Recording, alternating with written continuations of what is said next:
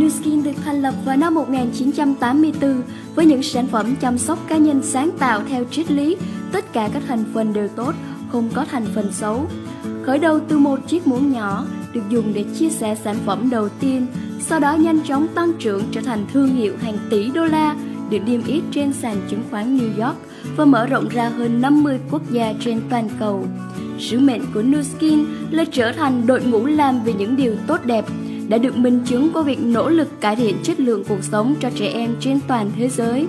Sáng kiến nuôi dưỡng trẻ em được nhà phân phối Nuskin trên toàn cầu cùng đóng góp mua sản phẩm Vitamil để chăm sóc các trẻ em suy dinh dưỡng. Tại khu vực Đông Nam Á, quỹ phẫu thuật tim trẻ em của Nuskin được thành lập giúp những trẻ em mắc bệnh tim bẩm sinh có thể được phẫu thuật và tiếp tục cuộc sống.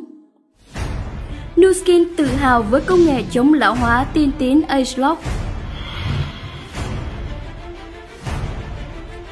New Skin sở hữu viện nghiên cứu Life Gen với hơn 30 năm nghiên cứu bản đồ gen người. 75 nhà khoa học làm việc toàn thời gian. Sở hữu hơn 500 triệu điểm dữ liệu biểu hiện gen.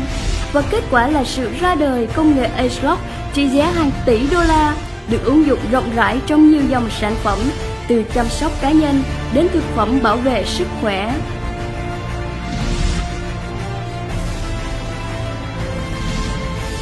New Skin Việt Nam chính thức mở cửa vào năm 2013, liên tục tăng trưởng và phát triển bền vững đem lại cho mọi người sự chuyển đổi để sống khỏe tận hưởng những điều thú vị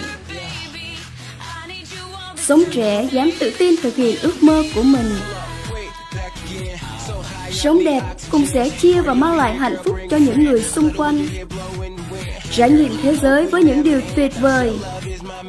Hãy sống với ước mơ của bạn.